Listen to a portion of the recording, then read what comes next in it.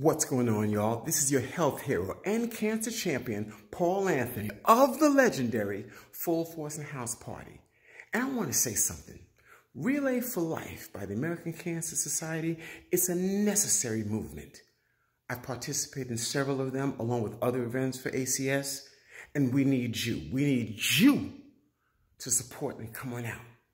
Because at the end of the day, we're all connected.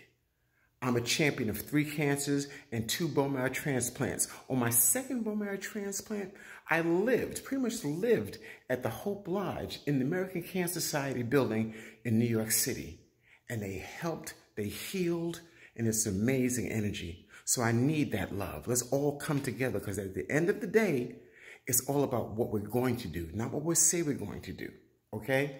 You know what? I've learned that the worst cancer is not mantle cell lymphoma, it's not acute myeloid leukemia, no, it's not even lung or pancreatic cancer.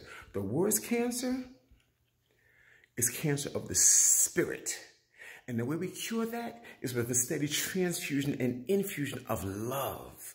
That's the love of a hero. And I have been instructed to engage every man, woman, girl, and boy to bring out that hero inside of you. And let's come together. Each one reach one, each one teach one. And on that note, I bring to you our new single, Full Force, featuring Brian Innefeld, The Love of a Hero, ACS, all day, baby. Just like that.